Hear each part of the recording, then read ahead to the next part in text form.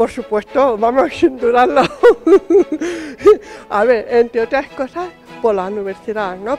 Porque tienes buenos profesores, aprendes, eh, buenos compañeros, que yo creo que eso es importante. Y luego, aparte de eso, fuera de lo que es el ámbito de estudio, pues la ciudad es una ciudad muy cómoda para vivir, para moverte, para conocer, para salir. Eh, ofrece muchas posibilidades, tanto de ocio, en todos los niveles, eh, de deporte, de salir de fiesta, de marcha. Vamos, sí.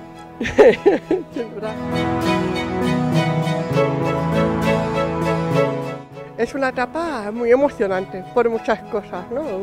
Una parte es, digamos, una cierta independencia familiar que, te gusta, eh, conoces gente nueva, y por otra parte también es un crecimiento personal porque empiezas a, madurar, a ser poquito más lo que luego será en la etapa futura, la etapa de, adulto, pero sobre todo algo como muy emocionante en general. Pues bueno, de alguna manera es un, tránsito, ¿no? De cuando dejas el bachillerato, el COU, en mi caso, pues bueno, ya pasas, digamos, a, otro estatus, eh, estatus en el sentido de que tú eres más eh, consciente de, tus propias decisiones, ¿no? Tu etapa de adulto, de alguna manera, ya no estás tanto bajo el paraguas de tus padres o de casa, sino que eres más responsable de ti misma. Y eso, bueno, pues al final es, bonito, es emocionante y no sé.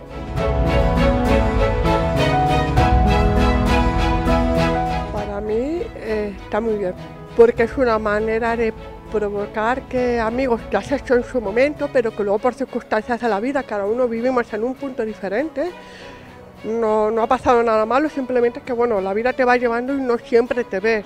Y esto es un lugar de encuentro, un punto de encuentro y es bonito. O sea, de hecho ha provocado que hoy por hoy, pues con una de las amigas nos volvamos a ver después de pasar los 15 años, con lo cual yo encantada.